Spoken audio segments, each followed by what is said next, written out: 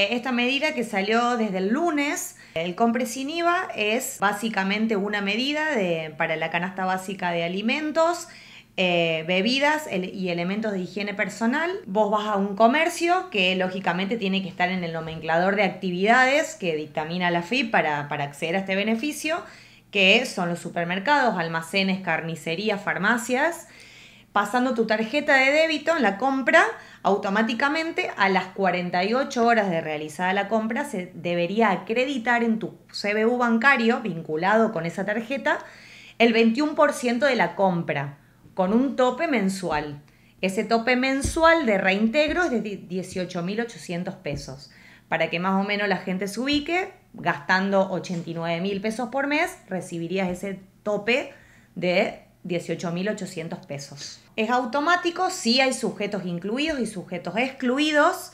Dentro de los sujetos incluidos tenemos lo que son jubilados, pensionados, todos los beneficiarios de las asignaciones universales por hijo y por embarazo, monotributistas con algunas exclusiones y trabajadores en relación de dependencia siempre y cuando no superen sus ingresos 708 mil pesos.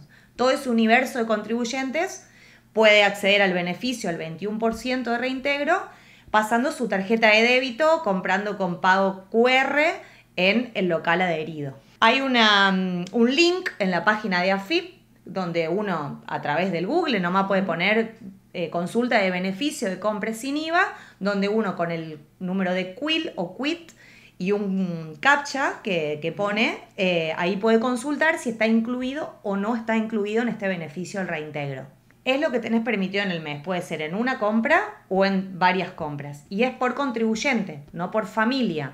O sea, una familia de dos personas con dos CBU distintos, con dos eh, capacidad contributiva distinta, puede acceder a los dos topes. Efectivo no. Sí o sí tiene que manifestarse a través del pago con una tarjeta de débito.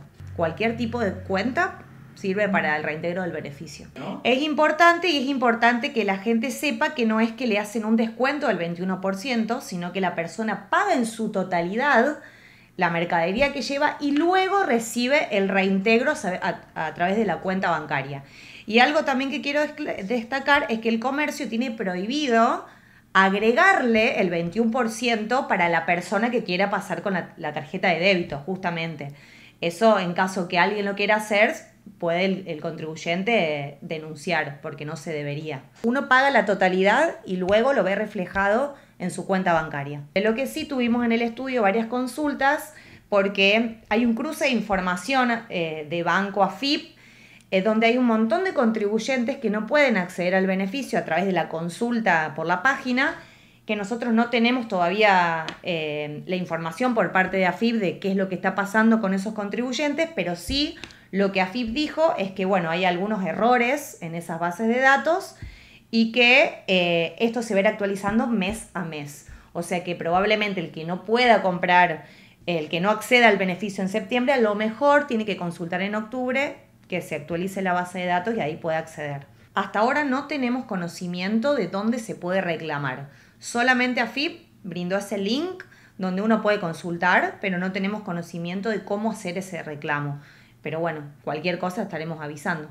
Lo único que hay hasta ahora, que fue también un anuncio por parte del gobierno y que se concretó a través de una resolución, fue que se aumentó el piso a 1.770.000 pesos a partir del 1 de octubre. Es decir, que el trabajador que cobre menos de 1.770.000 no va a tributar el impuesto a las ganancias. Obviamente está lo que decís vos, que se pretende eliminarlo por completo de los trabajadores y jubilados. Y lo que también en esta resolución eh, como medida se aplicó es la exclusión del aguinaldo para el cálculo de ese impuesto. Es hasta ahora lo que hay. Eh, el ministro de Economía anunció un montón de medidas, pero bueno, de a poco y día a día nos vamos enterando cuando obviamente se reglamentan.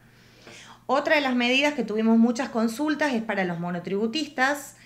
Eh, en primer lugar, uno de, de, los anuncios que después se concretó fue el tema de la prórroga del componente impositivo del monotributo para las categorías A, B, C y D, que se prorrogó por seis meses. Y la otra consulta que tenemos son los, los famosos créditos eh, a tasa subsidiada y con el aval del Estado de hasta 4 millones de pesos. Eh, la información que tenemos hoy es que estos créditos se pueden gestionar a través del Banco Nación hoy y yo hablé con los dos gerentes de los bancos de la localidad, Banco Córdoba y Banco Macro, que están en tratativas de que en los próximos días se pueda gestionar también en los dos bancos locales. Em, las condiciones de este crédito son que son para monotributistas de categorías A a H, los montos para categorías A y B, 1.200.000, para categorías C, D y E, 2 millones, hasta 2 millones obviamente, categoría F, G y H, hasta 4 millones de pesos. El garante, digamos, de este crédito va a ser 100% el Estado. Eh, el crédito es con un plazo máximo de 24 cuotas y una tasa aproximada del 61% anual.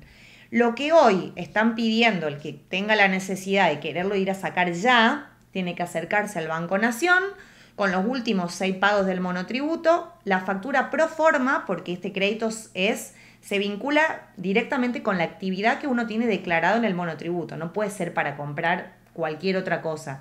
Tiene que tener una factura pro forma que avale, que esté relacionada, digamos, con la actividad que uno tiene. El Banco Nación va a determinar si en base a esa pro forma se lo da o no y un servicio también tiene que llevar a su nombre. Esos son los requisitos que están pidiendo hoy en el banco para mejorar la actividad productiva en esta época de crisis que estamos transitando. Es un crédito accesible, hoy no hay estas tasas en el mercado, están todas arriba del 100%, esto más o menos una tasa del 50% de lo, que, de lo que está hoy en el mercado. Así que sí, el que tiene la necesidad de sacarlo, la verdad es que es para aprovechar. Y hablando de este tema de créditos, otra de las medidas también que sacó eh, AFIP es un crédito para los trabajadores en relación de dependencia, que se gestiona a través de la página de ANSES de hasta 400 mil pesos para trabajadores aportantes al CIPA, al Sistema Previsional Argentino.